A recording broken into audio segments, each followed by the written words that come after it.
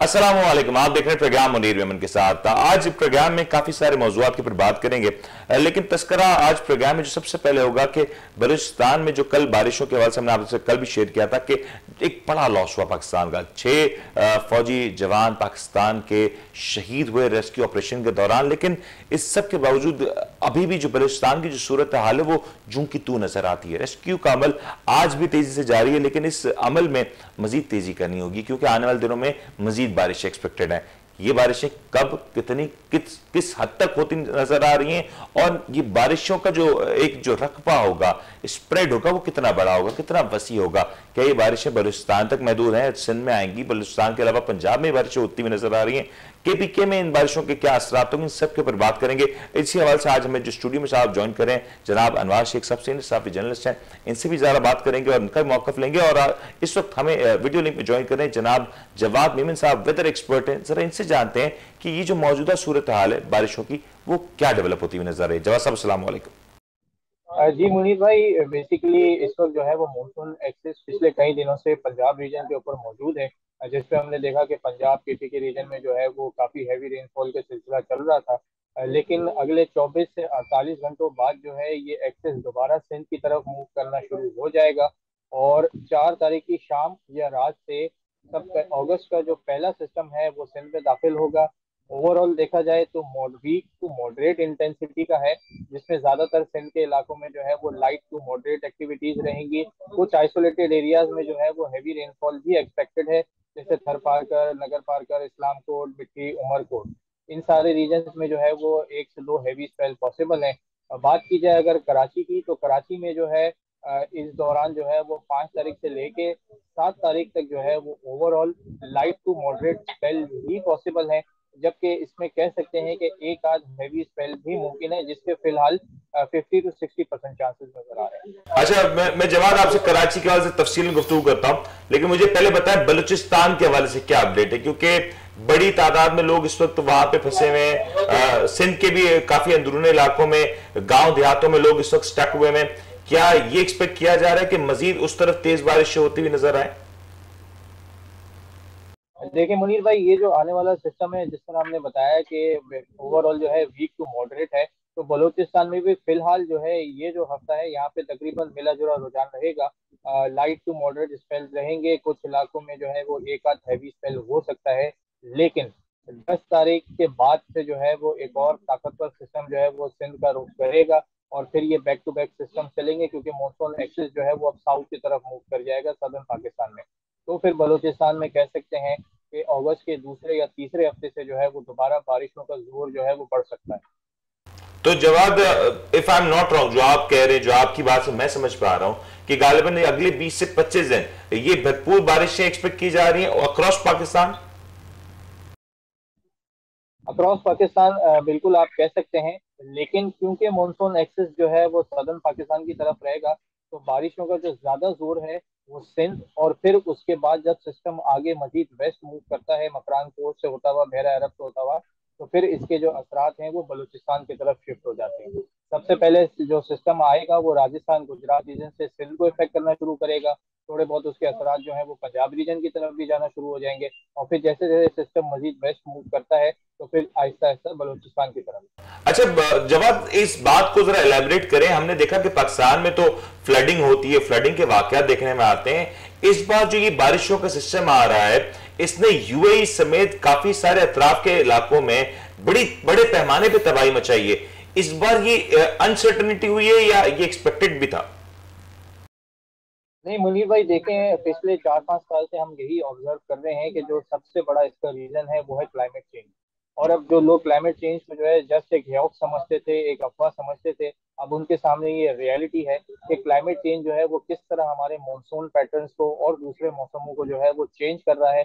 बलूचिस्तान में बेसिकली बलूचिस्तान के कुछ रीजन जो है वो मानसून बेल्ट में आते हैं, जबकि बलूचिस्तान के कुछ रीजन ऐसे भी हैं जहाँ पे मानसून की बारिशें हुआ ही नहीं करती लेकिन पिछले चार पाँच साल से जब हम देख रहे हैं कि वो इन रीजन को क्रॉस करता हुआ और अब मिडल ईस्ट रीजन में भी मानसून जो है वो दाखिल हो जाता है, जिसमें Iran, Oman, Qatar, UAE, Saudi Arabia, इन सारे रीजन में भी हम देख रहे हैं कि पिछले तीन चार साल से जो है वो मानसून के सिस्टम इतनी दूर तक ट्रेवल करते हैं और फिर जब उन एरियाज़ में जाते हैं जहाँ मानसून की बारिशें कभी हुआ ही नहीं करती थी तो फिर उन एरियाज़ में जो है वो ज़रूरत से ज़्यादा जो है वो तबाही और बारिश जब होती है तो फिर मामला जो है वो डिस्टर्ब हो हैं।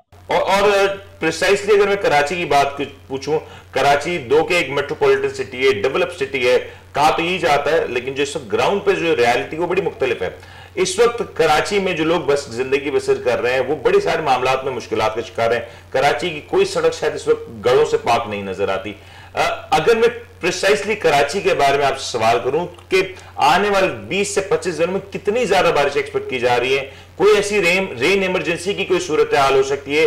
कराची के बड़े सारे इलाके हैं जो कि नशेबी इलाके हैं वहाँ से लोगों को क्या बाहर निकालने की ज़रूरत हो सकती है? इस तरह की कोई अलर्ट हो, होते हुए नज़र आ रहे हैं आपको? देखिए मुनीर भाई इस तरह की कोई एवैक्यूएशन की तो ऐसे कोई ज़रूरत नहीं है लेकिन अगर ओवरऑल अगस्त की बात की जाए तो जुलाई की तरह अगस्त में भी जो है वो मामूल से ज़्यादा ही बारिशें अब तक एक्सपेक्ट की जा रही हैं। और कराची में अगर टेंटेटिवली बात की जाए अगले 20 से 25 दिन में तो लगभग जो है वो डेढ़ सौ से 200 मिलीमीटर कुछ इलाकों में अगेन ढाई तीन सौ मिलीमीटर तक के भी फिगर्स हम देख सकते हैं।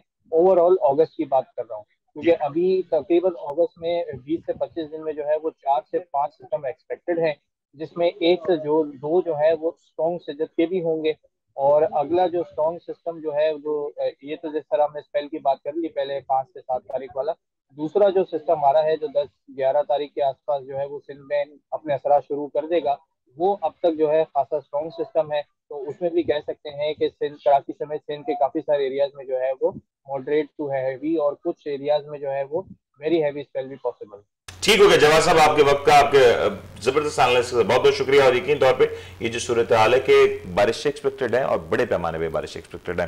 कराची समेत सिंध के दीगर इलाकों में, बलूचिस्तान के इलाकों में पंजाब के इलाकों में ये बड़े पैमाने पर बारिश एक्सपेक्ट की जा रही है और साथ साथ ये भी एक्सपेक्टेशन हैं कि जो आने वाले दिन होंगे, आने वाले जो अगस्त के कुछ दिन हैं, उसमें ये बारिशों की जो जो क्वांटिटी है, जो क्वांटम ऑफ़ रेन है, वो बहुत मैसिव हो सकता है। बलुस्तान में हाल दिनों में एक बड़ी तबाहकारी देखी गई और अभी भी इसके असर देखे जा रहे हैं। अनवर साहब सिचुएशन आपके सामने, कितना मुश्किल होगा रेस्क्यू वर्कर्स के लिए आने वाले दिनों में काम करना? देखें जी, मनीष साहब, इस वक्त जो हालात हैं इस वक्त जो हालात चल रहे हैं बलूचिस्तान के जो मैं देख रहा हूँ चैनल्स के ऊपर और अखबार में और तमाम इतनी तकलीफ़ दे हैं हम्म। कि मैं बयान नहीं कर सकता सही आप यकीन करें कि दिल खून के आँसू हो रहा है जो हालात वहाँ के चल रहे हैं जबकि वहाँ की जो गवर्नमेंट है जो डिस्ट्रिक्ट गवर्नमेंट है और जो वहाँ की पंजाब बलूचिस्तान गवर्नमेंट है वो रेस्क्यू अमल कर रही है उसमें हम्म। पाक फौज पाकिस्तान रेंजर्स ये सब मिलके उसमें रेस्क्यू में शामिल है। और एफ़ के भी जवान है सब उसमें और भरपूर काम कर रहे हैं। ऐसा नहीं है कि वो आ, हमारे जो पाकिस्तानी हैं जो में उन इलाकों को डेवलप ही नहीं किया गया। देखिए उस इलाकों पे तवज्जो नहीं दी गई आज तक।